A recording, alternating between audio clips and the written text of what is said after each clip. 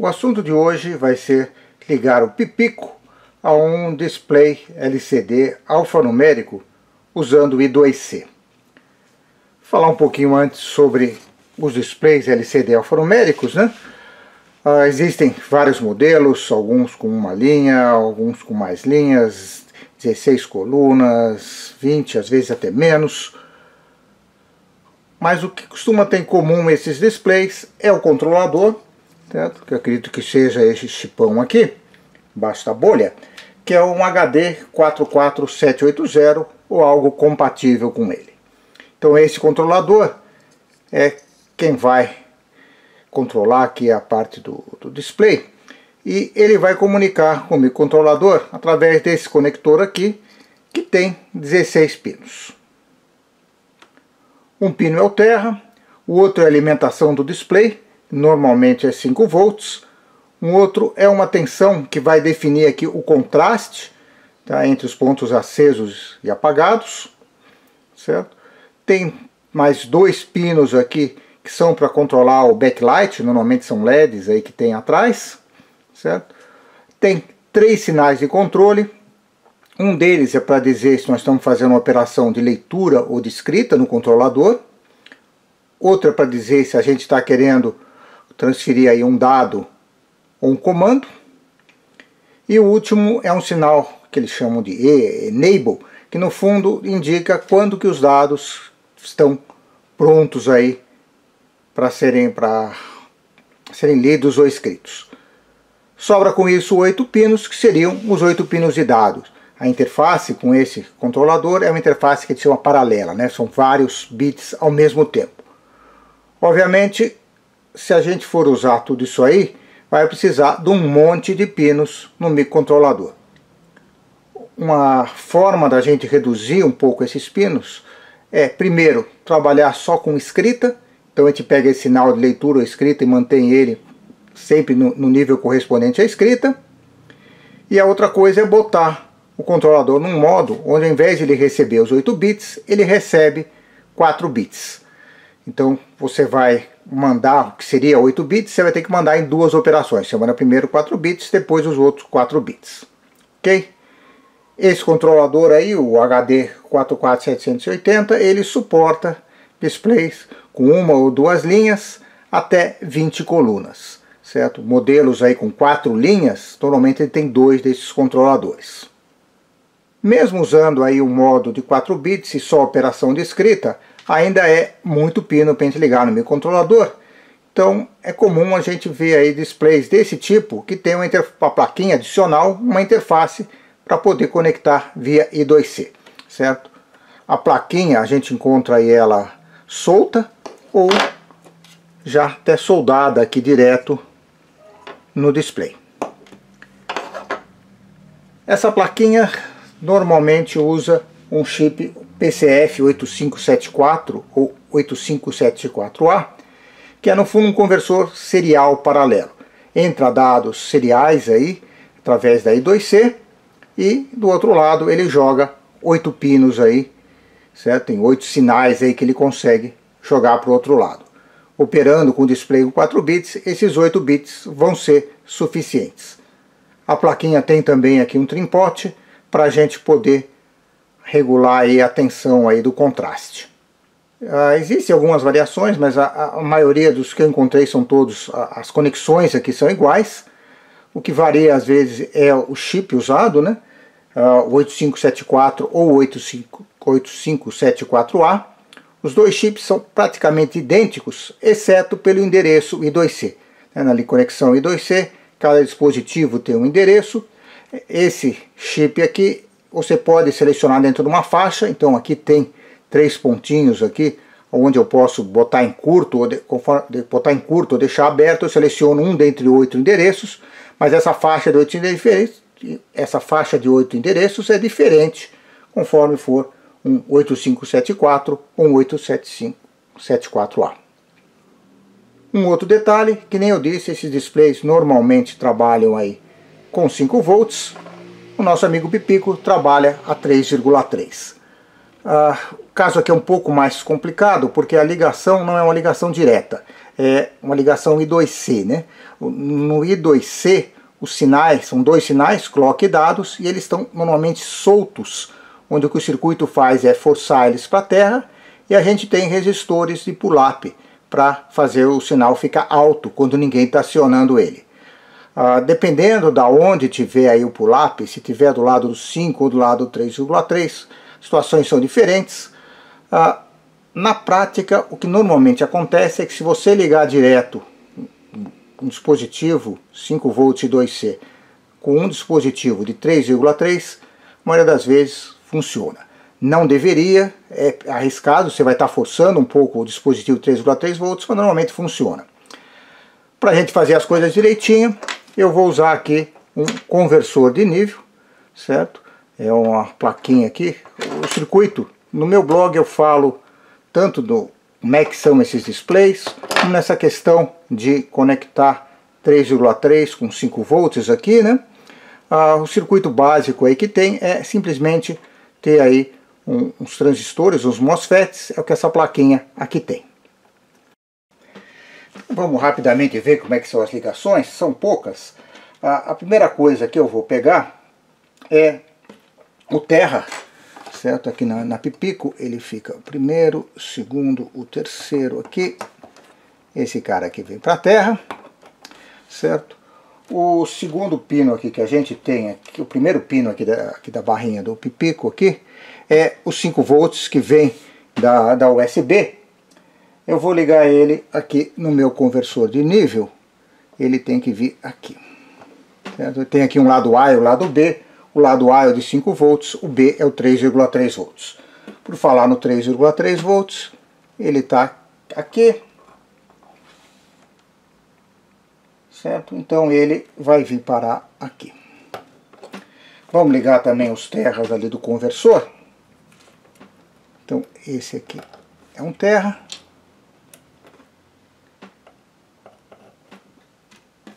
O outro terra eu vou ligar do lado A com o lado B, os dois usam o mesmo terra. Ok, estamos quase chegando lá. Falta agora ligar o, os dados e o clock.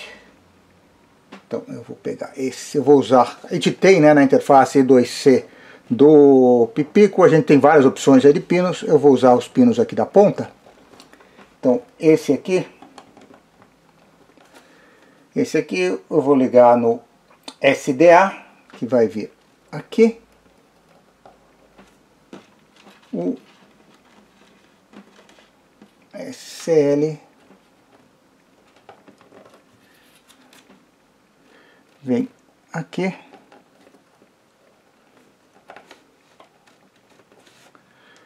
E agora é só eu ligar aqui o display, certo?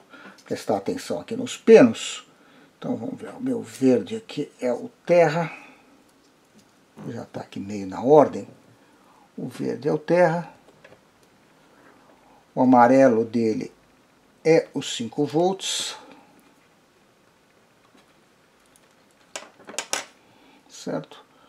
O azul eu vou ligar ali com azul e o roxo vai do lado. Então agora aqui é a hora Vou tentar não me atrapalhar muito.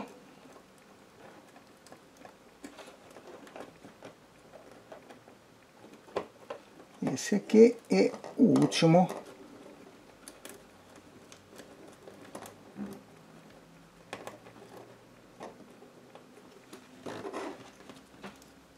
E tá pronto aí. Tá ligado aqui, né, o, o meu display alfanumérico LCD com interface 2C ligado no Pipico. Agora é a gente ver o lado do software.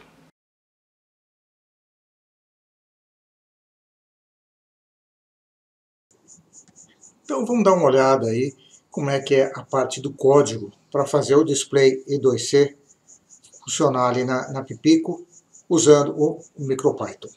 Né? Então eu estou usando aqui o Tony, né, a interface.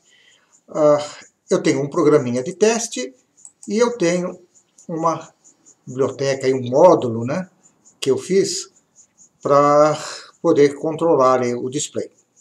O que eu fiz foi adaptar o código que eu tinha feito para o Raspberry Pi, certo? um código em Python, A principal mudança que teve é a parte do, da conversa com o I2C. A forma de acessar o I2C em si é diferente, mas o resto é bem parecido. Tá? Então é uma, uma classe chamada LCD PCF8574. Ah, na hora que eu vou aqui construir, criar um objeto com isso, eu tenho que informar uma série de informações, tenho que passar aí o meu objeto de acesso ao I2C, uh, ah, o endereço, o endereço default que está aqui é 27, hexa, tá? Tem depois, eu poderia mudar a associação entre os vários sinais aí, quais, quais bits lá da parte, da paralela da, do PCF 8574 correspondem. Tá? Provavelmente esses valores devem funcionar sem precisar alterar a maioria das placas que vocês vão encontrar. Certo? Então eu uso esses valores aqui para criar uma máscara, para poder mexer em cada um desses bits. Certo? Ah, tem um detalhe que na hora que eu vou escrever, para mandar um byte lá para 874, a função que eu vou usar é o i2c write to, onde eu passo o endereço e passo um buffer certo? Esse buffer ele é um, um, vetorzinho, um array de bytes, certo? Que eu criei aqui, onde tem só uma posição, na primeira posição tem um valor, certo? Uma complicação é que eu tenho, quer dizer, nesse byte aí tem os diversos sinais, e tem hora que eu quero mudar um deles somente, então o que eu faço é guardar o valor atual para não alterar os demais bits, certo? Então eu começo com zero e depois eu vou fazendo as diversas coisas aí, tá? tem aqui uma série de constantes, são os comandos que tem, o alto e baixo e tudo mais. Então aí eu tenho depois alguns métodos aí para controlar cada um dos sinais. Ah, todos eles são bem parecidos. O que eu faço é, conforme eu quero botar low ou high, eu vou ligar ou desligar um determinado bit do meu valor atual e depois eu vou mandar esse valor atual lá para 8574. Ok? Então tem o sinal de RS, o sinal de read-write, o sinal de enable, o sinal de backlight. E aí tem depois os pinos dos dados, são quatro bits de dados, né? Então é aqui onde é que eu faço, certo? Ah, na hora que eu quiser escrever um byte no display de dado, o que eu vou fazer é uma certa sequência aí de mudar os sinais numa certa ordem, certo? Eu, eu tenho que primeiro dizer se eu estou mandando um dado ou um comando, tá? que é SRS, depois eu tenho que eu ligo o E, mando um dado, no que eu baixar aqui o E, ele vai registrar esse dado. Depois eu pego, eu mando, levanto de novo o E, coloco outro pedaço do dado e baixo, certo?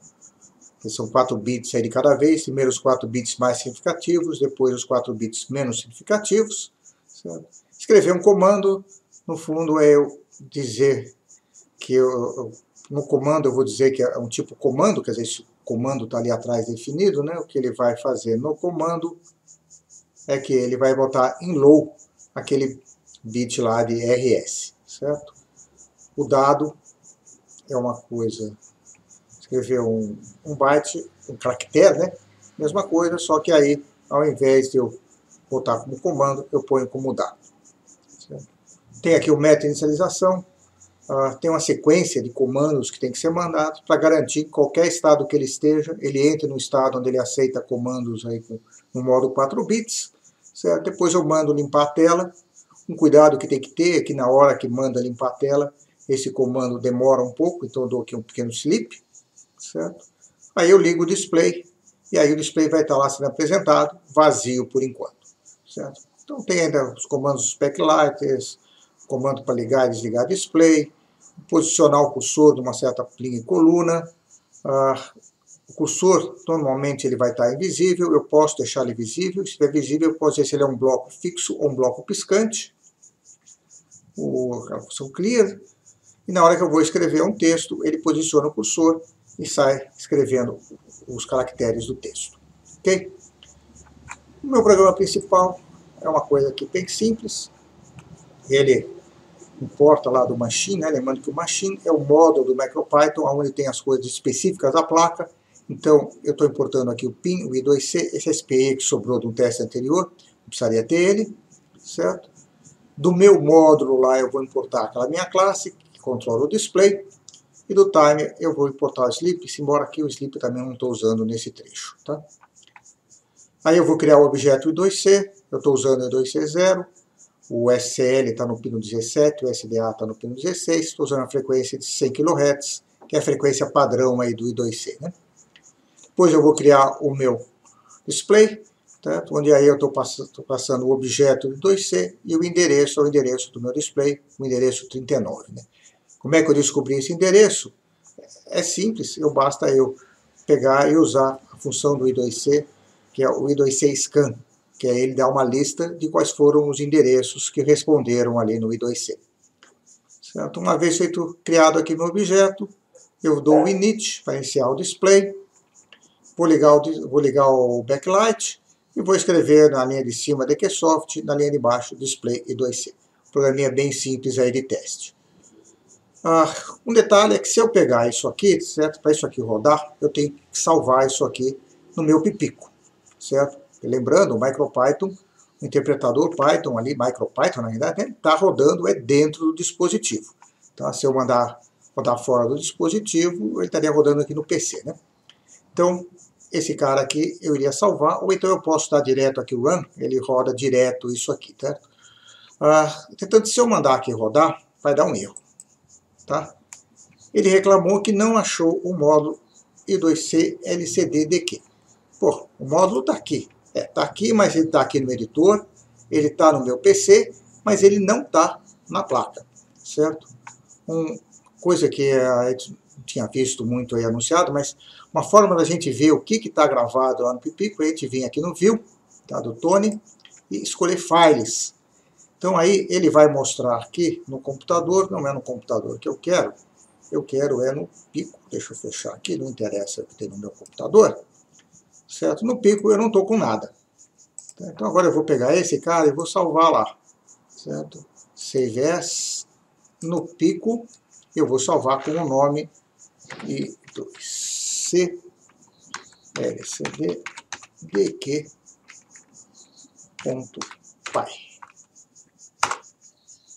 certo? Salvou, então a gente olha aqui agora ele está lá no HCBR Pico.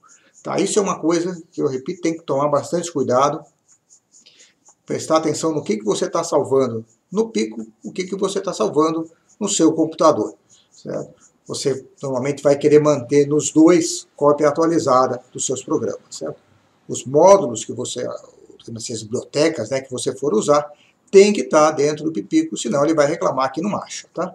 Então agora que eu já fiz isso, eu vou pegar, eu posso aqui ou salvar ele, ou aqui no caso eu posso rodar aqui direto, quando roda ele vai passar isso aí direto para lá. Mas eu vou salvar, que eu acho que fica mais bonitinho, né?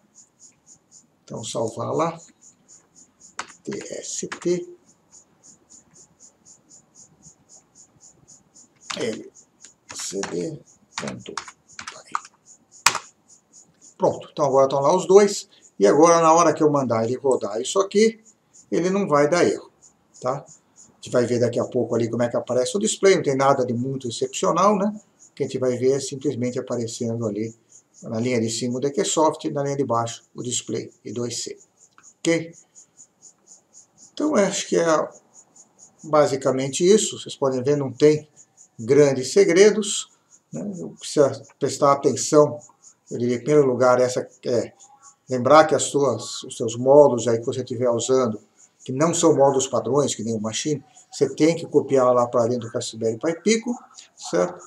Uh, no I2C você tem que configurar direitinho qual das duas portas do I2C você está usando, qual é, quais foram os pinos que você usou, certo? No caso desse meu objeto aí de para controlar o display, e a maioria dos objetos aí que você vai ter que mexer com o I2C, você vai passar lá, esse objeto I2C, e você vai ter que informar qual é o endereço que ele está. Ok?